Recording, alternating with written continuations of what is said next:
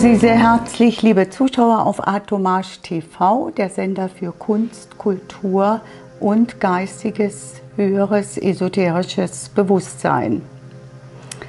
Wir hatten ja schon zwei Vorträge zum Thema der Meister oder Adepten und es gibt da noch mehrere Teile. Also es ist natürlich ein Thema, was man gar nicht irgendwie einkreisen kann und was ohnehin jenseits unseres gewöhnlichen Bewusstseins ist, selbst für hoch äh, eingeweihte Esoteriker noch weit weg. Dennoch ist es wichtig und äh, notwendig, über diese Dimensionen etwas zu wissen. Es ist sogar sehr, sehr wichtig, um die Weltentwicklung aus einer anderen Perspektive noch zu betrachten.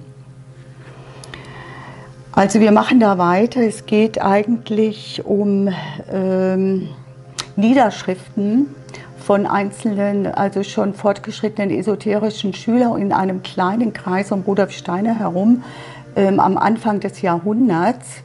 Und diese Schüler, die haben damals nur so Notizen gemacht und diese Notizen hat man dann später zusammengetragen und hat sie dann niedergeschrieben und sie sind halt so, wie Notizen sind.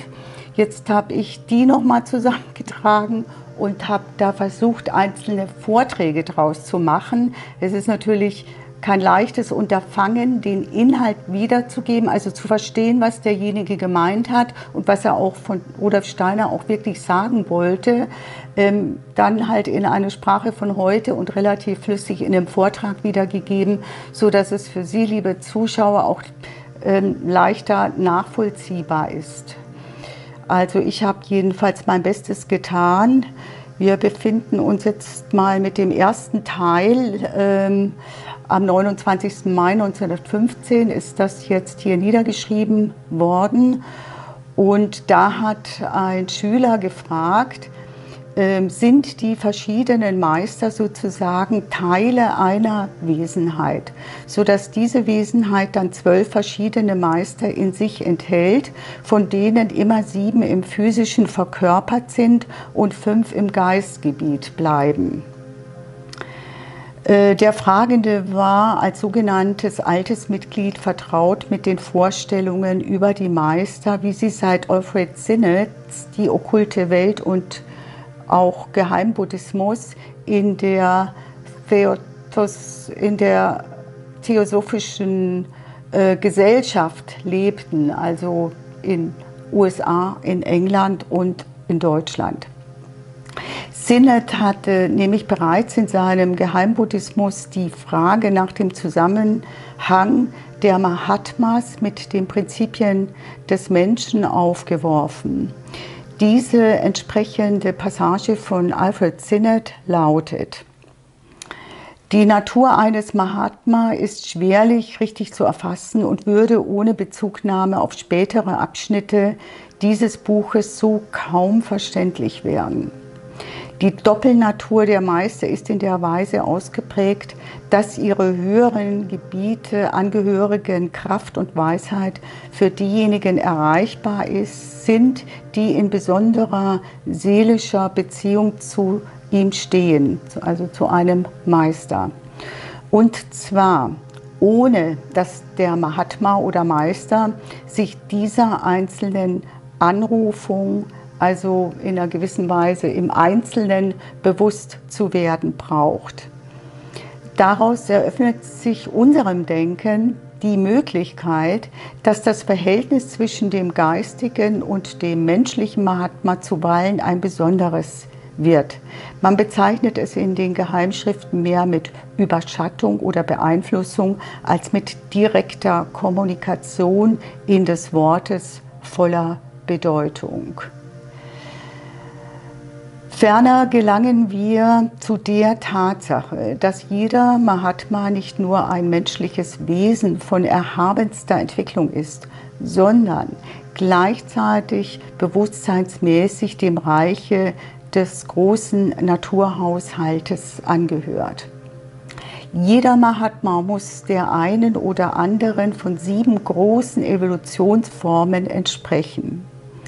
Diese Grundformen können in Beziehung zu den sieben Ausrichtungen im Menschen zurückgeführt werden. Wir haben ja in unserem Universum immer die Zahl sieben. Und ähm, in Beziehung zu den sieben Ausrichtungen im Menschen. Doch scheue ich davor zurück, also jetzt spricht Steiner, eine vollständige Erklärung dieser Annahme zu versuchen. Es genügt in schwachen Umrissen von den höheren Gebieten der geheimen inneren Gliederung zunächst zu wissen. Seit einiger Zeit ist in Geheimschriften behauptet worden, dass es fünf große Chohans oder höhere Mahatmas gebe, welche die ganze Brüderschaft der Mahatmas leiten. Als ich seinerzeit den vorhergehenden Abschnitt dieses Buches schrieb, war ich unter dem Eindruck, dass ein höchstes, auf noch höherer Stufe stehendes Oberhaupt die Herrschaft über diese fünf Chohans führe. Aber jetzt drängt sich mir der Gedanke auf, dass diese Persönlichkeit mit größerer Wahrscheinlichkeit als ein sechster Chohan, als das Haupt der Mahatmas, sechster, Grund, sechster Grundform aufzufassen sei. Und diese Vermutung führt sofort zu der weiteren Folgerung, dass es zur Vervollständigung der erkannten Entsprechungen oder Beziehungen einen siebenten Chohan geben müsse. Aber wie der siebente Grundteil in der Natur oder im Menschen ein kaum fassbarer, unserem Denken sich entziehender Begriff ist, der nur in verschwommenen Redewendungen geschildert werden könnte, so wird sich sicherlich auch der siebente Chohan jeder ungeschulten Vorstellungskraft als unnahbar erweisen. Anmerkung von mir, der Weg des esoterischen Schülers geht ja bekanntlich über mehrere Leben und dann über die Einweihungsstufen in mehreren Leben voran, in der Regel. Das meiste, was wir heute an Spirituellen haben, ist noch sehr selbstbezogen und zu wenig an den höheren Tatsachen orientiert. Es befindet sich meistens noch in den Vorstufen zur Esoterik. Die höhere Esoterik ist mit oft schmerzhafter Arbeit an sich selbst verbunden, Einsamkeit und auch Stille, um die Intuition in sich aufnehmen zu können, die zum Beispiel von den Meistern an den Schüler gegeben wird.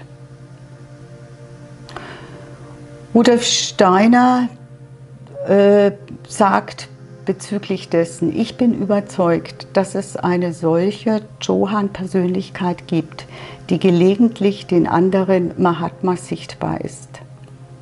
Das Sinnen darüber bringt indessen kaum einen anderen Vorteil als den, größere Klarheit bezüglich äh, des oben ausgesprochenen Gedankens zu erhalten. Zum Beispiel Mahatmas nicht bloß als außergewöhnliche Menschen von großer geistiger Erhabenheit zu sehen, sondern diese als absolut notwendige Erscheinungen in der Natur aufzufassen, ohne die eine fortschreitende Entwicklung der Menschheit auch nur gedacht werden kann. Wenn Sie sich näher mit den Mahatmas beschäftigen wollen, dann können Sie natürlich auch in, ich glaube im Aquamarin Verlag gibt es die Mahatma-Briefe. Auch auf YouTube findet man das in Englisch. Jetzt gehen wir mal zu den Meistern der nachatlantischen Kulturperioden. Da wäre Meister Kutumi. Er gilt als der Inspirator des Übergangs von Ägypten zur griechischen Zeit. Dann gibt es Hilarion. Er inspirierte oder inspiriert durch die griechische Zeit. Dann haben wir natürlich Jesus von Nazareth, spätere Christus. Er inspiriert im Übergang von der griechischen zur germanischen Zeit. Wobei natürlich Christus, wie wir ihn in der Anthroposophie kennenlernen, noch weit andere Dimensionen hat. Es wird aber hier wird er so eingereiht in die Reihe der äh, Meister oder auch Mahatmas. Saint-Germain gilt als der Inspirator der germanischen Kultur und man vermutet, dass es eine Wiederverkörperin auch ist von Christian Rosenkreuz. Also die zwei haben was miteinander zu tun. Dann haben wir noch Moria, er ist der Inspirator der slawischen Kultur. Rudolf Steiner, man sagt vom Meister, er ist geboren in immer demselben Körper. Er braucht ihn Jahrhunderte, ja selbst Jahrtausende. Das ist aber bei den weitaus meisten führenden Individualitäten der Welt der Fall. Also bei den führenden Individualitäten unserer Welt ist es in der Regel so, dass sie ihren Körper entweder mal haben oder nicht, da kommen wir gleich noch drauf. Und das geht über Jahrtausende oder vielleicht noch viel länger. Eine Ausnahme machen gewisse Meister, die eine ganz besondere Mission haben. Bei diesen bleibt der physische Leib erhalten, sodass der Tod für sie überhaupt nicht eintritt. Das sind die Meister, die für den Übergang von einer Rasse zu einer anderen zu sorgen haben. Nicht um den physischen Tod handelt es sich, sondern um Folgendes. Der physische Tod ist für denjenigen, der sozusagen den Stein der Weisen erkannt und ihn herauszusetzen verstanden hat, nur ein scheinbares Ereignis. Für die gewöhnlichen Menschen ist der Tod ein wirkliches Ereignis, das einen großen Abschnitt in seinem Fortgang bedeutet. Aber bei dem eben hier beschriebenen, bei dieser beschriebenen Individualität ist es so, dass es nicht mal einen besonders wichtigen Abschnitt in seinem Leben bedeutet. Also er ist etwas, was nur für diejenigen als sterbend da ist, die etwas als Adept, die etwa als Adepten beobachten können, wie er stirbt. Also ein anderer kann sehen, wie er eben von dannen geht, aber er selbst, ähm, ja, also er beschreibt es gleich noch bisschen anders. Er selbst stirbt, aber in Wirklichkeit nicht so wenig, wie er im physischen Körper eigentlich lebt. Also wir gehen davon aus, wir leben in unserem Körper und wenn wir sterben, dann vergeht der physische Körper. Aber diese Individualitäten, die leben auch ganz anders in diesem Körper drin. Er hat gelernt, alle Vorgänge, die im Moment des Todes im physischen Körper vor sich gehen, nach und nach auch während seines Lebens vor sich gehen zu lassen. Er hat das Sterben somit mit dem Körper schon vollzogen, was sich sonst nur im Moment des Todes vollzieht. Dieser plötzliche Tod äh, ist nicht mehr notwendig, denn der Meister hat längst gelernt, ohne und mit dem physischen Körper zu leben. Er legt den physischen Körper in ähnlicher Weise ab, wie man einen Regenmantel auszieht und zieht einen neuen Körper an, wie man einen neuen Regenmantel anzieht. Anmerkung von mir, auch heute erscheinen die Meister immer wieder, aber die Menschheit erfährt niemals etwas davon, da sie nicht über die Augen zu sehen verfügen. Jetzt können wir davon ausgehen, dass das natürlich auch schon gesehen wird, aber nicht an die Öffentlichkeit gerät, weil das ist wirklich hier alles noch so, dass die Menschen dafür einfach nicht reif sind. Und es wird immer nur das rausgegeben, wofür die Menschen reif sind. Aber natürlich sind einige wenige für das eine oder andere reif. Und sie sind aber wahrscheinlich auch dazu äh, verpflichtet, darüber zu schweigen. Das Thema Schweigen ist ja für den Esoteriker ein sehr wichtiges. Es ist eben, sag ich mal, eine Frage auch der Schwingungshöhe. Im Moment leben wir ja in einer Weltenkrise, in der sich die Menschheit polarisiert. Wenige erhöhen derzeit ihre Schwingung in Form der weißen Bruderschaft, was heißt dem Weisheits- und Liebelicht, sowie der Überwindung der kleinen ego-gesteuerten und zeitlichen Persönlichkeit, ähm, also dieser höheren Ebene in sich entgegenzugehen. Die Masse der Menschen wird jedoch oft noch niederschwingiger, wie sogar in, den letzten, in der letzten Inkarnation, wo diese arimanisch-luziferische Egoität wie heute noch gar nicht erreichbar war. Sie setzen ihre Schwingungen weiter herab durch Selbstsucht und Gierbefriedigung, bewusste und unbewusste Lügenverbreitung und extreme Unwissenheit über geistige, über geschichtliche und kulturelle Zusammenhänge. Wie sie zum Beispiel heute bei den Politikern und vielen, manchmal sogar Universitätsabgängern da sind, wie es vorher nie möglich war. Also Politiker war vor 100 Jahren einfach rundum gebildet da, also auch in den Bereichen, die jetzt nicht nur Politik sind. Des Weiteren existiert für die meisten Menschen eine völlige Unwissenheit der feinstofflichen Vorgänge im körperlichen und im gesamten Weltenraum. Es besteht im Moment für viele Areligiosität und oft materialistisch-exoterische Religiosität, also beides eben nur auf die Materie und auf Erfolg im Materiellen gerichtet. Allen ist gemeinsam, dass sie nicht so fürchten wie den eigenen Tod. Und so sind sie aufs höchste manipulierbar nach dem Motto, wenn du diese Spritze nicht nimmst, musst du sterben oder sorgst für den Tod deiner Mitmenschen. Zappelnd wie Neuzüchtungen im Reagenzglas verimpft man ihnen gezielte Gedankenformen. Jetzt muss man auf die andere Seite gucken. Wir hatten schon im letzten Vortrag, in Wahrheit stehen auch Meister der schwarzen Magie über den uneigenständigen Massen der Menschen. Ihr Einfluss erscheint jedoch im Licht von medizinischen materiellen Notwendigkeiten, Opfern, gesetzlichen Verfügungen. Noch mehr dahinter steht eine gezielte Neuzüchtung der Menschheit aus Egoismus heraus, das Gegenbild zu den erhabenen Meistern als Führer. Diese müssen aber vom Menschen selbst aufgesucht werden. Also aus der Freiheit, ich will, aus dem Willen, aus dem Ich heraus des Menschen, muss ich mich der höheren geistigen Esoterik zuwenden oder auch den Meistern, wenn ich das möchte, aber die dunklen Meister, sie müssen nicht gebeten werden, sie kommen ungebeten.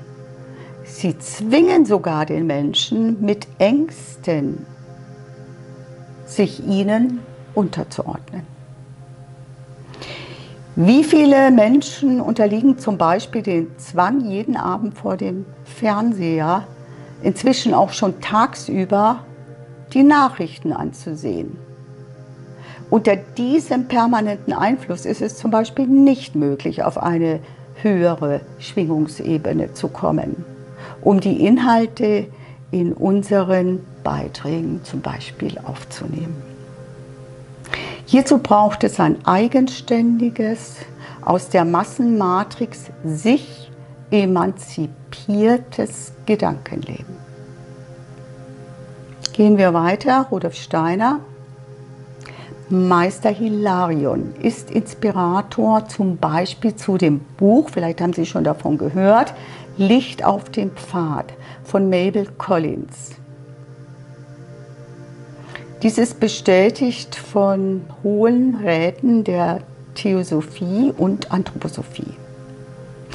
Die Tochter von Oskar von Hoffmann der Light on the Path ins Deutsche übersetzt hat. Zudem hat Meister Hilarium ihrem Vater bei der Übersetzung inspirierend geholfen. Er sei ja ein Grieche gewesen, daher die schöne Sprache seiner Übersetzung, die mantrisch sogar wirksamer sei als der englische Text. Sie hören nun in etwas meditativer Weise einige kleine Auszüge aus diesem Buch Licht auf dem Pfad von Mabel Collins.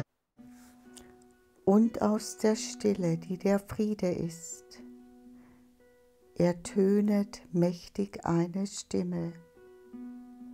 Und diese Stimme spricht, es ist nicht recht, du hast geerntet, säen musst du nun. Und im Bewusstsein, dass die Stimme die Stille selber ist, wirst du gehorchen. Der du zum Jünger nun geworden bist, der du vermagst zu sprechen und zu stehen.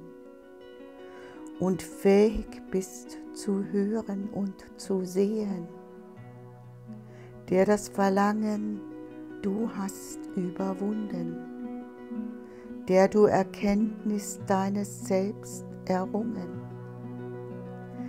der Seele blühen erschauet, und erkannt, der du der stille Stimme hast vernommen, betritt zum freien Muts des Lernens, Halle und lies, was dort für dich geschrieben steht.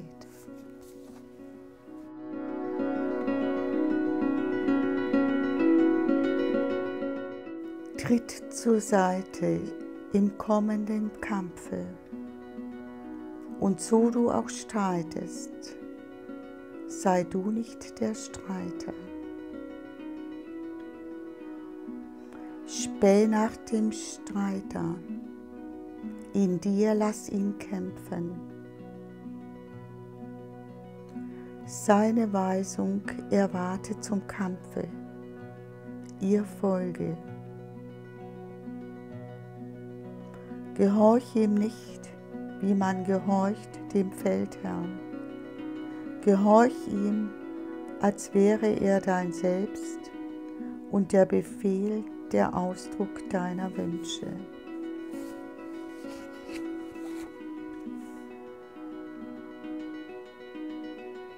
Lausche dem Liede des Lebens. Bewahre in deinem Gedächtnis die Weise, dir dann dir ertönt. Die Lehre des Wohlklanges erlerne daraus.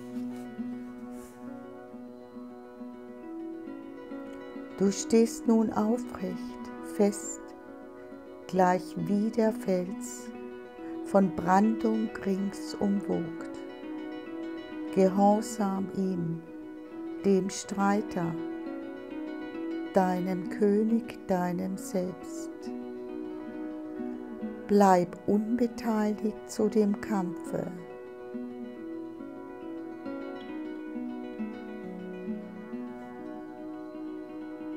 Prüfe mit Eifer das, das Leben, das rings dich umgibt.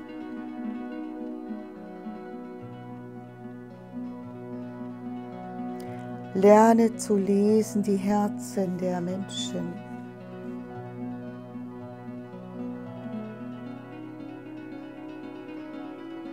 Am eifrigsten prüfe dein eigenes Herz.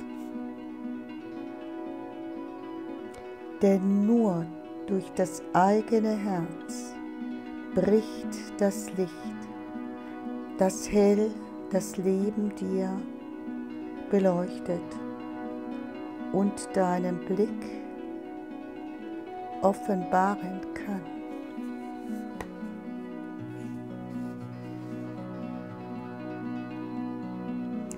Die Sprache kommt nur mit dem Wissen.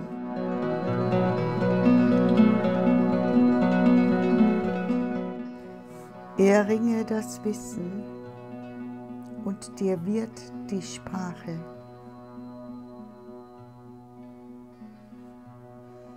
Bist du der inneren Sinne Herr geworden und hast der äußeren Sinne Trieb besiegt, der eigenen Seele Neigung überwunden und hast du Wissen dir errungen? Dann Jünger, halte dich bereit, den Weg in Wirklichkeit nun zu betreten. Gefunden ist der Pfad. Bereite dich, ihn zu beschreiten.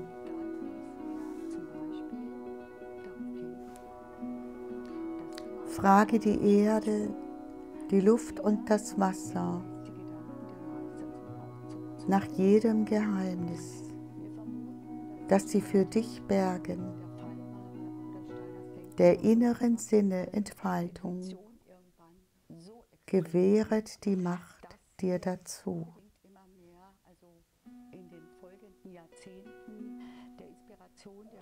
Des Erdenrunds Heilige, frage nach jedem Geheimnis, das sie dir bewahren der Sieg über äußerer Sinne Begierden gewährt das Recht dir dazu. Das Innerste frage, das eine nach seiner Geheimnisse letzten, das es dir umschließt durch alle Zeitalter.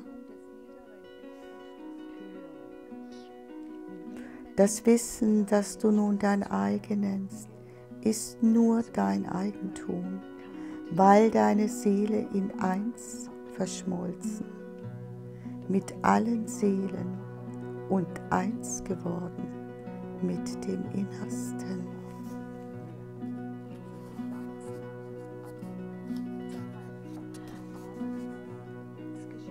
Es steht geschrieben, dass es nicht Gesetz noch Führer gibt für jeden, dessen Fuß die Schwelle zu der Göttlichkeit betritt. Doch werde zu des Jüngers Klärung der Kampf bezeichnet durch diese Worte. An dem halte fest, was Sonderstoff und Dasein. An dem halte fest, was Sonderstoff und Dasein. Lausche nicht anderer Stimme als der, welche die lautlos ist.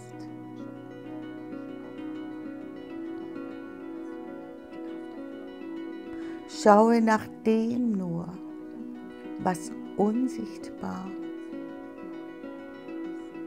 innerer wie äußeren Sinnen ist.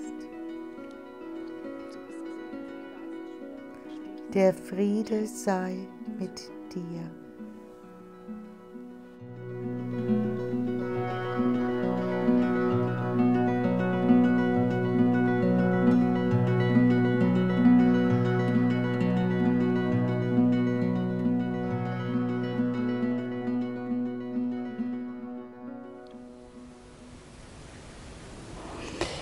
Wir gehen weiter in unserem Vortrag.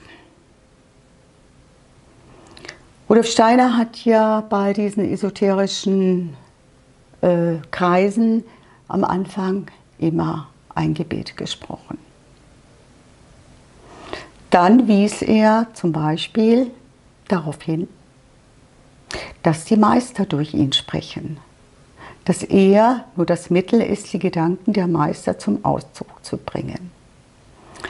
Wir vermuten, dass das später nicht mehr unbedingt der Fall war, weil Rudolf Steiners Denken war so umfassend, seine Intuition irgendwann so extrem hoch, dass er nicht unbedingt immer mehr, also in den folgenden Jahrzehnten der Inspiration der Meister benötigte. Aber das sind natürlich alles so Vermutungen und ähm, aber ich würde das mal so vermuten, ja. Meister Moria gibt uns Aufschluss über das Ziel der menschlichen Entwicklung. Er ist es, welcher die Menschheit ihrem Ziele zuführt. Meister Kotomi ist eher derjenige, welcher uns die Wege zu diesem Ziele weist. Also ein bisschen so mehr der Praktiker. Darstellung des niederen Ich und des höheren Ich. In jedem Menschen ist ein niederes Ich, das es zu überwinden gilt. So dann wird die Vergänglichkeit der Leiber von Rudolf Steiner betrachtet. Das heißt, mein Körper wird vergehen und auch ihre Körper werden in ihre kleinsten Atome zerfallen. Aber die Worte, die jetzt gesprochen werden, werden nicht vergehen, weil wir selbst dasjenige werden, was wir jetzt sprechen. Das ist der Same, aus dem wir einst wieder hervorgehen werden. Gedanken und Gefühle sind Wirklichkeit. Sie sind dasjenige, was das Material zum Bau des Späteren abgibt. Wir müssen darum bestrebt sein, so hohe und edle Gedanken und Gefühle zu hegen, wie es nur immer möglich ist. Durch Gedanken und Gefühle sind wir stets gefesselt an dasjenige, was diesen Gedanken und diesen Gefühlen ähnlich ist. Wir knüpfen dadurch Tausende und Abertausende von Beziehungen. Aus eigener Erfahrung kann ich wirklich sagen, es ist sehr, sehr schwer, aber der Mühe wert. Und schon beim morgendlichen Aufwachen sollten wir darum bitten, dass wir die Kraft dafür haben und beim Einschlafen uns wieder bedanken für den Tag, der uns wieder zu neuen Erkenntnissen verholfen hat.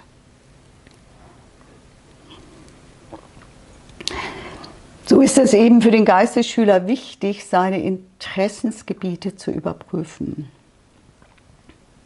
Umso mehr ich mich mit den Inhalten befasse, die von geistig Unwissenden stammen, umso mehr verbinde ich mich mit ihnen.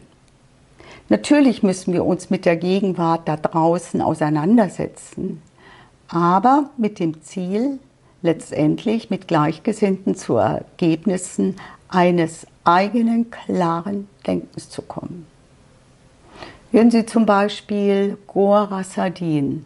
Das ist ein großartiger Mensch. Können Sie in YouTube eingeben und mal einige Videos von ihm anhören.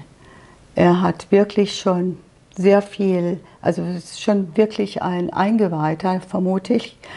Und er blickt hinter die Kulissen. Rudolf Steiner, es gibt vier Grade der Entwicklung. Es gibt des Weiteren sieben Sinne und fünf, also sieben Sinne. Fünf Sinne, wie wir sie auch im physischen Leben kennen. Und zwei Sinne, die noch zur Entfaltung kommen müssen. Es gibt zehn energetische Kraftzentren im Menschen. Erstens Prana in der Brust, zweitens Apan in der Gegend der Sekretionsorgane, drittens Saman im Nabel, viertens Udan in der Mitte der Gurgel, fünftens Vayu durchdringt den ganzen Körper, sechstens Kurm im Auge hilft dasselbe zu öffnen, siebtens Krikala im Magen ruft Hunger hervor, Achtens, Nag verursacht Erbrechen. Neuntens, Devadatta verursacht Gähnen. Zehntens, Danayaya, Dananyaya, dasjenige, was den Körper nicht einmal nach dem Tode verlässt. Prana entspricht der achtblättrigen Lotusblüte. Udan entspricht der 16-blättrigen. Die zweiblättrige Lotusblüte befindet sich zwischen den Augenbrauen. So wie man das Sterben lernen muss, so muss man auch das Absterben der Gefühle lernen. Das ist ja bei Mabel Collins beschrieben und äh, für den Unwissenden oder Anfänger erscheint es schon sehr hart. Aber ja, mit der Zeit versteht man schon, warum es so ist, weil zu viel Lust erzeugt halt oder Lust erzeugt immer Leid, also das gehört halt nun mal zusammen. Das Erste, was zu lernen ist, ist das Stehenlernen. Das heißt, dass wir in den Wirrsalen des Lebens einen inneren, sicheren Halt haben. Dass wir keine Furcht und keine Angst mehr kennen, sondern ruhig und sicher jedem Ereignis, wie es auch kommen mag, ins Auge zu schauen. Das sieht man in diesen Zeiten, wie viele Spirituelle auf einmal vollkommen von der Angst besetzt sind. Ja. Es gibt aber auch viele positive und andere Beispiele, die voller Vertrauen sind und nach ihrem Inneren gehen. So, dann gibt es, wie gesagt, vier Etappen, also vier Stufen, die wir zu ersteigen haben. Zuerst gilt es, das Ich, den Kern in uns zu suchen. Dadurch werden wir auch das Nicht-Ich erkennen. Wir müssen diesen Mittelpunkt in uns suchen, denn dieser Mittelpunkt liegt in jedem einzelnen Wesen. Überall gibt es Mittelpunkt und auch Peripherie. Sie mögen sich an die äußersten Grenzen versetzt denken. Überall können Sie den Mittelpunkt finden. Die Erde dreht sich um die Sonne, die Sonne dreht sich mit der Erde durch den großen Weltenraum. Und neben ihr drehen sich unendlich viele andere Himmelskörper. Jedes einzelne Wesen bildet einen Mittelpunkt. Auf die Frage von einem Schüler über die Wesen auf anderen Himmelskörper antwortet Rudolf Steiner, auf jenen Himmelskörpern leben keine Menschen, wie wir welche sind. Es leben zwar auch Wesen darauf, aber eben keine Menschen. Die Menschen haben keine Verbindung mit diesen Wesen, es ist derzeit keine Beziehung vorhanden. Diese Beziehung können sie aber erringen, wenn sie sich innerlich auf eine Stufe erheben, wo alle jene Wesen ihre gemeinsame Grundlage haben. Also wahrscheinlich ist gemeint, es geht mehr innerlich. Anmerkung von mir.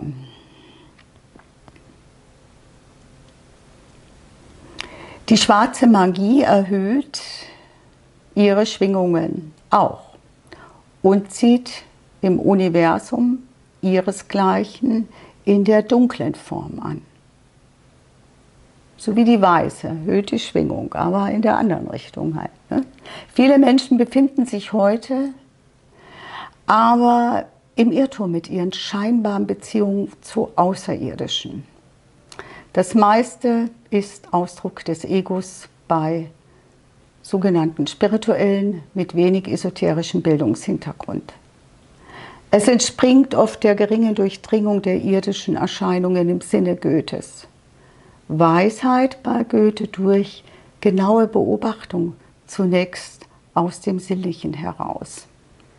Ich habe ja schon öfter darum darüber gesprochen, wie wichtig es ist in der sinnlichen Welt, unser ganzer Kanal, wir haben ganz viele Dialoge dazu, wie wir erstmal im sinnlichen Bereich, in Kunst, Kultur, Natur unsere Sinne verfeinern. Und ich lade Sie ein, auch unsere Kunstvideos anzuschauen, weil man bemerkt doch immer wieder, dass die Menschen irgendwie immer nur Informationen wollen, was ja natürlich verständlich ist. Aber um uns zu schulen in der Wahrnehmung, ist es auch gut, einfach nur mal Kunstvideos anzuschauen, ohne dass man damit Information in dem Sinn hat, sondern nur einfach betrachten. Das fehlt den heutigen Menschen wirklich sehr. Wir haben ja eine ganze Playlist mit Kunstvideos auch. Also Galerieart Dommage.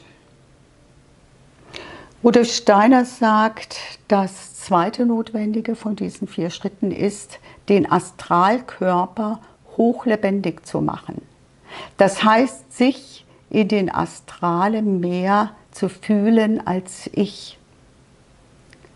Dazu braucht man diese zum Beispiel Standhaftigkeit. Das dritte ist die Überwindung des Astralen oder des astralen Meeres und die Erreichung der tiefen Stille. Das vierte ist die Vernehmung der Stimme der Stille. Das ist da, wo der Meister ruft wie von außen. Das bist du. Das beste Bild für diese Entwicklung ist folgendes. Hat man sein Ich gefunden, so denkt man sich herausgefahren auf das große Weltmeer. Nichts ist auf der Wasserfläche zu erblicken. Soweit das Auge reicht, nur Wasser und Himmel. Die Enden des Meeres sind vom Horizont begrenzt. Auf dessen Fläche denken wir uns alle eine Welle im bewegten Meer als eine einzige Woge unter den vielen Wogen. Wenn wir uns dann so recht eins fühlen, so müssen wir die Wogen des Meeres beruhigen. Tiefe Stille muss eintreten. Nichts ist zu hören, nichts ist zu sehen. Das Wasser, in das wir eingetaucht sind, ist vollkommen ruhig. Keine Bewegung macht sich geltend. In dieser vollkommenen Stille, in dieser vollkommenen Abgeschlossenheit wird die Stimme des Meisters ertönen können. Sie wird nicht mehr übertäubt werden können von den Geräuschen des Alltagslebens. Hiermit schließt sich diese Übung in der Praxis an. Wir üben dieses Bild, indem wir uns alle in den Gedanken des Ich versetzen, dann in das Meereswoge, dann in die tiefe Meeresstille. Anmerkung von mir, denken wir bei folgenden Inhalten, dass die Meister durch Rudolf Steiner sprechen. Nie hätte er vielleicht ohne diese zu diesem Wissensvolumen zunächst kommen können. Wir müssen uns da ja auch verabschieden von der Persönlichkeit Steiners, was in der exoterischen Anthroposophie sehr verbreitet ist. Sie wissen nicht, dass Rudolf Steiner nicht als Einzelperson in sich das Wissen erworben hat, sondern durch die unmittelbare göttergleich wirkende Wesenhaftigkeit der Meister, für die er auch auserwählt war wie Jahrzehnte vor ihm Madame Blavatsky oder auch später wiederum Edgar Casey. Steiner wurden ganz besonders weitreichende, kulturerneuernde Zusammenhänge mit nicht ohne ihre Hilfe erkenntnismäßig möglich. Es geht nun um die Erbauung einer ganz neuen Kulturepoche in dieser nachatlantischen Zeit in der wir uns jetzt im mittleren Stadium befinden. Ich danke Ihnen fürs Zuhören dieses Vortrages und es wird wieder einen geben zu den Meister. Es ist noch ein unerschöpfliches Thema und ich freue mich, wenn Sie das nächste Mal wieder dabei sind. Sie können gerne kommentieren und auch unsere vergangenen Sendungen anschauen weil vieles da drin ist zeitloses Wissen. Vielen Dank. Auf Wiedersehen.